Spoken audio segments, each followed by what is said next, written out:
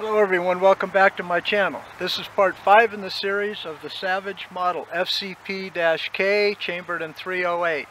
Uh, I encourage you to look at my playlist for the 308 to get caught up on the configuration and what I've done previously till now. I contacted the ballisticians at both Sierra and Hornady and both of them told me that the the sweet spot for the 308 is the 165 to 168 grain bullets.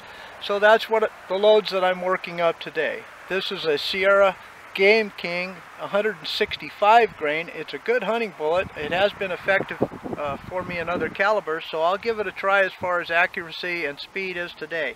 The powder that I'm using for this bullet is Benchmark. Uh, supposed to be a really good powder, so we'll give it a shot. The other type of bullet that I'm using is the uh, Hornady SST, also chambered in 165 grain. I've had uh, real effective results with this on game as well, but at longer range. At high velocity and close range, I do get jacket separation on these. Uh, it is an effective killer, but uh, if you want through and through in a blood trail, uh, this needs to be at a longer distance or at a lower velocity. So I've got my uh, MagnetoSpeed chronograph on. I'm set up at 100 yards. I've already shot uh, nine rounds and have the data uh, recorded.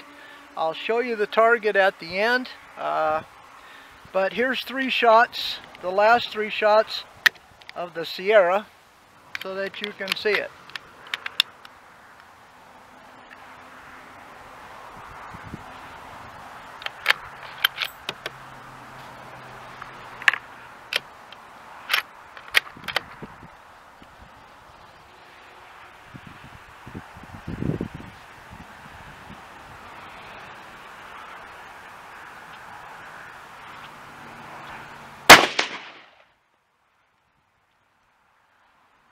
27, 27.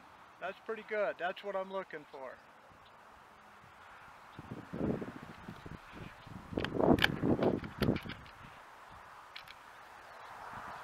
Primer looks good.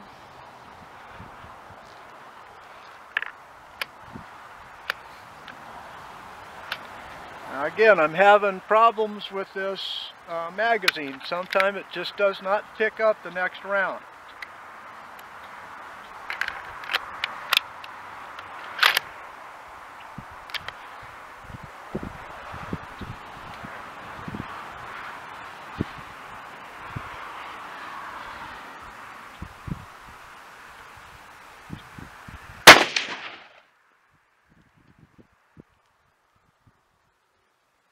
And that was 27.25. Wow.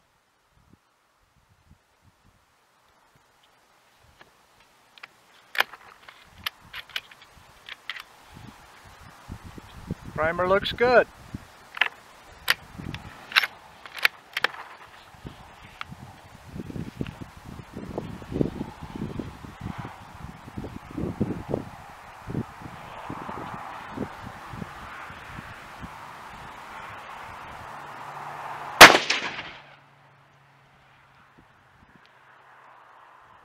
2713.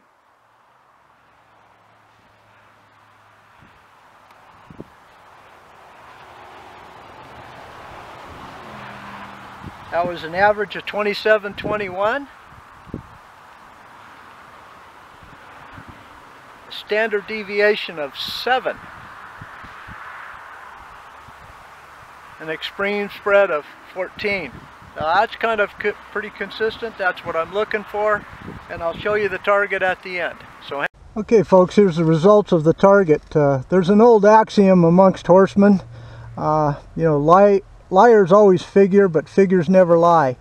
So here it is, the uh, Sierra 165 grain on the left with benchmark powder, Hornady 165 SST with CFE powder.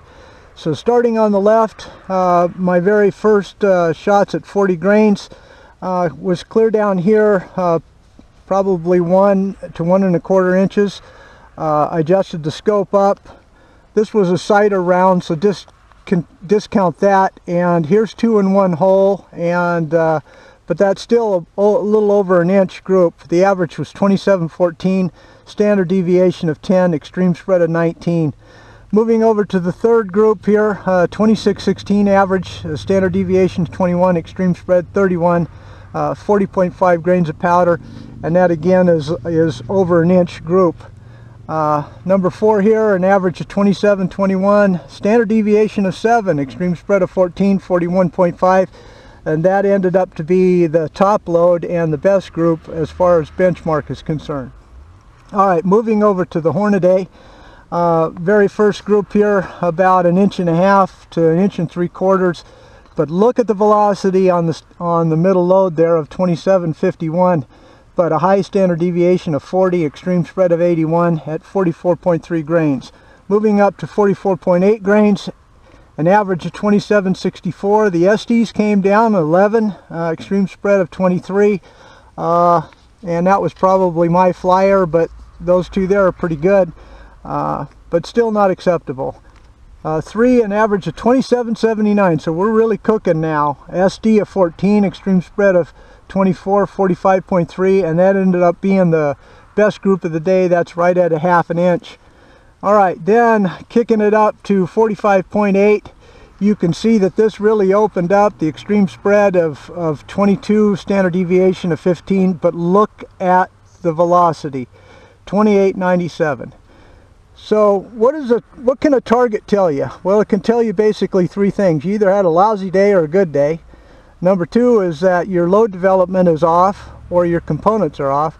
Or number three is that you shouldn't have gone to that birthday party and drank so much last night. Uh, you might be showing the effects this morning. Yeah, I'll take that one as probably what happened today. Uh, but if you like this content, folks, uh, please give a like, a thumbs up, uh, subscribe, share. Uh, tell me what you think. Uh, tell me what your experience is with the 308. I'd be glad to hear from you. But no matter what, thanks for watching. Talk to you later. Bye.